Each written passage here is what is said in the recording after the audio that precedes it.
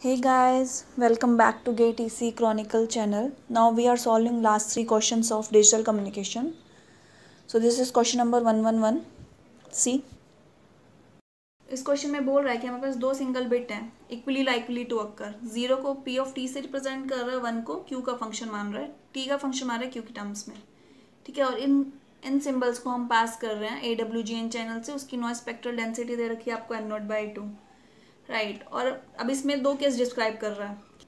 अब इसमें बोल रहा है आपको एक जाई वन और जाई टू आपके ऑर्थोनोबल सिंगल सेट हैं। और एक केस बोल रहा है आपको दोनों ही जाई वन है बट क्यू ऑफ़ टी में माइनस जाई वन है। दैट मीन्स दोनों वन एट्टी डिग्री के शिफ्ट पे हैं। सो so, अगर मैं इसको देखूँ अगर मैं केस वन ड्रॉ करूँ सो so, अगर मेरा पी ऑफ़ टी यहाँ पे है जाई वन टी पे समथिंग तो माइनस जाई वन टी मेरा यहाँ होगा। That means Q of T मेरा यहाँ है। Right right. तो इस केस में इसकी मिनिमम प्रोबेबिलिटी जो एरर है ना, वो पी ऑफ़ बी दे रखी है आपको राइट right? इस केस में आपका पी ऑफ़ बी है। और अब सेकंड केस के लिए बोल रहा है कि मेरा पी ऑफ़ टी जाई वन टी है और केस टू में, और क्यू ऑफ़ टी जो है ना मेरा रूट ई जाई टू टी है। अभी आपको पता है ऑर्थो नॉर्मल है तो ऑब्वियसली बात है जाई वन आपका यहाँ इस लाइन पर रिप्रेजेंट कर रहे हैं तो जाई टू आपका इस लाइन पर रहेगा।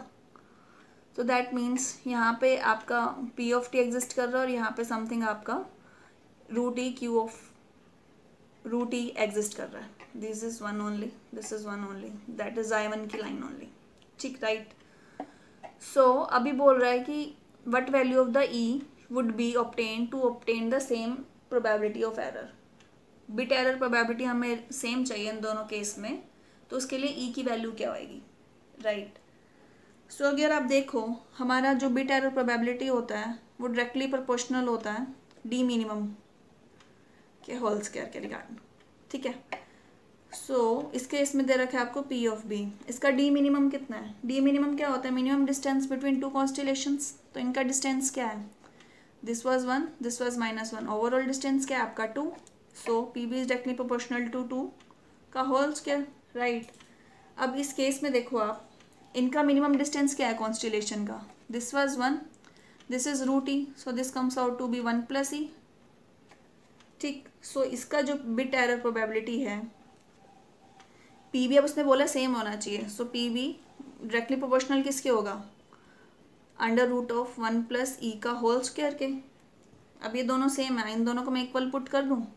So four equals to one plus E under the root का whole square that is four equals to one plus E right so your E comes out to be three right क्या किया है basically हमने? हमारा bit error probability हमें पता था कि मिनिमम डिस्टेंस के स्क्वेयर के डायरेक्टली प्रोपोर्शनल होता है। सो हमने उसी प्रॉपर्टी का यूज़ करके इन दोनों कॉन्स्टलेशन का डिस्टेंस निकाला, इन दोनों का डी मिनिमम निकाला। आपको डी मिनिमम निकालना आना चाहिए। और क्वेश्चन की स्टेटमेंट बहुत बड़ी दे रखी थी कंफ्यूज करने के लिए बट अब थोड़ा शान से पढ़ो तो उसने बेसिकली दो केस डिस्क्राइब किए हुए हैं हमें। Right so this was quite easy question two marks के लिए आया था। Now this is one one two question carefully see the question अब इसमें दे रखा है कि एक वॉइस सिग्नल है एम ऑफ़ टी जो frequency range five to fifteen kilo hertz की रेंज में एग्जिस्ट कर रहा है, ठीक है? और सिग्नल जो है ना ए एम मॉड्यूलेटेड है एम्पलीट्यूड मॉड्यूलेशन की है, उस पर आपको कैरियर फ्रिक्वेंसी दे रखी है। और बोल रहा है कि सैम्पलिंग जो हुई है ना वन पॉइंट टू रेट पे हुई है नेकवेस्ट रेट से। नेकवेस्ट रेट है दैट मीन्स यहाँ पे टू एफ़ एम लिख दूँ इसको मैं? So overall this is two point four F M से हुई है इसकी सैम्पलिंग राइट और इसको हम क्वांटाइज कर रहे हैं two fifty six level Q से। टू फिफ्टी सिक्स लेवल का क्वांटाइजर है उस पर क्वांटाइज किया। और K is the minimum number of bits दे रखी है आपको एनकोडिंग के लिए, और आपसे आर बी की वैल्यू पूछ रहा है कि कितना रेट हो मेगा बिट्स पर सेकेंड पे, जो रिजल्टेड हमारा कोड आएगा। भी वॉइस सिग्नल है, आपका फाइव टू फिफ्टीन है। हम वॉइस सिग्नल को ऐसे ड्रॉ करते हैं? ये फाइव टू फिफ्टीन आपका एग्जिस्ट कर रहा है, इधर माइनस फाइव टू फिफ्टीन ठीक है? अगर मैं इसको एफ़ सी शिफ्ट कर दूँ, क्या होता है? एम्पलीट्यूड मॉड्यूलेशन में एफ़ सी शिफ्ट हो जाता है राइट तो अगर मैं इसको शिफ्ट करूँ सो अभी यहाँ पे सिक्स हंड्रेड है तो ये सिक्स हंड्रेड से शिफ्ट हो जाएँगे? Let this be six hundred so this is six hundred five and this is six hundred fifteen this is five ninety five and this is five five eight five right similarly negative side पे भी आएगा आपका। थोड़ा आप clean draw कर सकते हो। कोई दिक्कत नहीं, आपको खुद के लिए क्लियर होना चाहिए कि फ्रिक्वेंसीज मेरी क्या आ रही हैं। ठीक है? इसने आपसे पूछी हुई है आरबी की वैल्यू राइट आरबी क्या होता है? आरबी इज़ योर एनएफएस ठीक है? सैम्पलिंग फ्रिक्वेंसी सैम्पलिंग आपको दे रखी है। Two point four F M अब उसके लिए आपको एफ़ एम चाहिए। That basically value F M क्या होता है? आपका मैक्सिमम फ्रिक्वेंसी आपका मैक्सिमम फ्रिक्वेंसी क्या है? सिक्स हंड्रेड फिफ्टीन है? सो so, आपका सिक्स हंड्रेड फिफ्टीन हो गया मैक्सिमम फ्रिक्वेंसी राइट सो मेरा एफ़ एस कितना हो गया? My F S comes out to be two point four into six one five kilo hertz इसको जब आप सॉल्व करोगे so this comes out to be one point four seven six mega hertz right कैलसी होता है हमारे पास? Will solve अभी N K bits दे रखे हैं उसने। अभी हमें एन चाहिए। N is K only N is number of bits so your K is log two M होता है हमारा। M is number of levels से कितने दे रखे हैं? Two fifty six that is log two two fifty six this comes out to be eight two raise to power eight आपका two fifty six होता है। Putting the same values so this is eight into one point four seven six mega this comes out ठीक है। R B की value निकाल लिया? Basically हमने क्या किया, इसने हमें सिग्नल दे रखा था। इसलिए हमने मैसेज सिग्नल दिया होता जो फाइव से फिफ्टीन तक एग्जिस्ट कर रहा था। फाइव से फिफ्टीन हम ऐसे मान सकते हैं हमारा। सिग्नल जो एग्जिस्ट कर रहा है फ्रिक्वेंसी डोमेन में राइट तो अभी एम्पलीट्यूड मॉड्यूलेशन क्या करती है? एफ़ से शिफ्ट कर देती है। एफएम में एफ़ ऐड कर देती है और एफ़ से एफ़ माइनस कर देती है राइट सो so, हमने सेम चीज़ पे एफ़ सी से शिफ्ट किया हमने और इसको माइनस एफ़ सी से भी शिफ्ट किया हमने देख लिया राइट right? हमें हमें आर का फॉर्मूला पता है एनएफएस होता है। इसने आपको सैम्पलिंग रेट दे रखा था one point two of Nyquist rate अब एफ़ एस में हमारा एफ़ एम चाहिए होती है मैक्सिमम फ्रिक्वेंसी एफ़ एम क्या है आपकी? देखोगे तो सिक्स हंड्रेड फिफ्टीन है। सो so, हमने एफ़ एस निकाल लिया फॉर्मूला में पुट करके एफ़ एम की वैल्यू सिमिलरली इसने लेवल्स नंबर ऑफ़ लेवल्स दे रखे थे और के बिट्स दे रखी थी। लेवल से हम नंबर ऑफ़ बिट्स इजीली निकाल सकते हैं। हमने प्रोसीजर फॉलो करके हमने नंबर ऑफ़ बिट्स निकाल लिया एट और हमने आरबी की वैल्यू निकाल लिया right so this was question number one hundred twelve no see question number question number one one three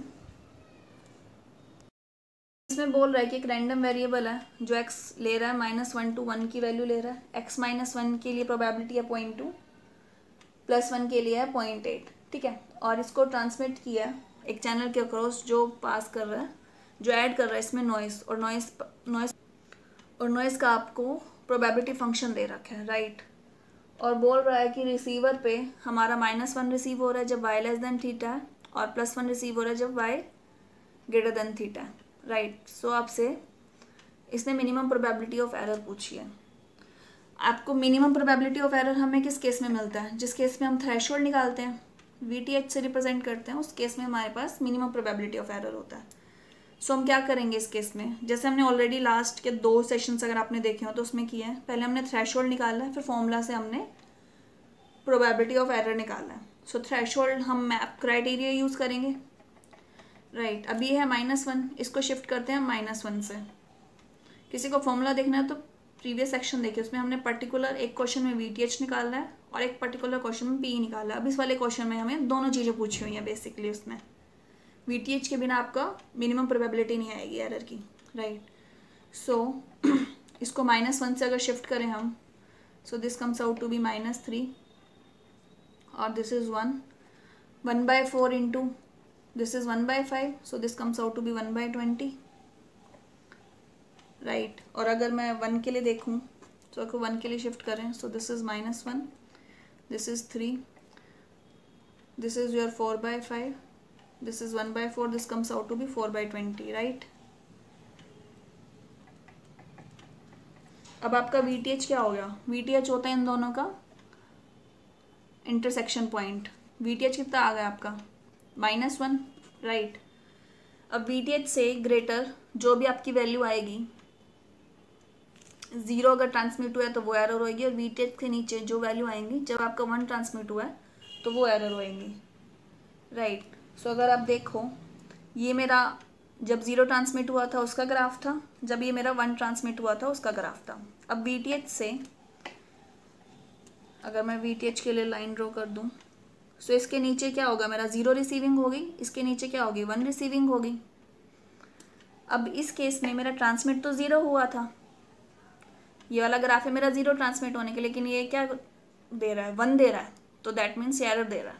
so so, आपका ये वाला पार्ट एरर है जब मेरा ज़ीरो ट्रांसमिट हुआ है लेकिन वो रिसीव क्या हो गया? वन प्रोबेबिलिटी ऑफ़ एरर का फॉर्मूला क्या होता है?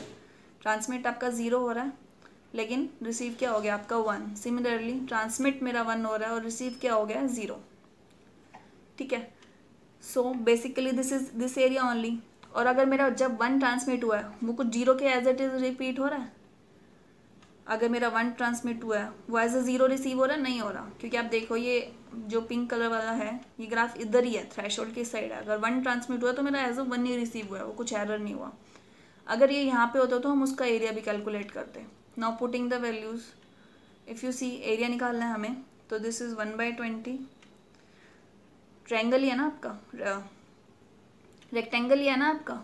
So this is two into one by twenty this is comes out to be one by that is zero point one this is your minimum probability of error right quite easy question अभी ये ऐसे question आपके gate में prominent हो गए हैं, हर साल ही आने लगे हैं। This was two thousand nineteen question both are two thousand nineteen question for two two marks के लिए फोर मार्क्स के लिए आए थे। बहुत ईजी क्वेश्चन थे लिटरली इसमें आपसे जस्ट आर बी का फॉर्मूला पता होना चाहिए था।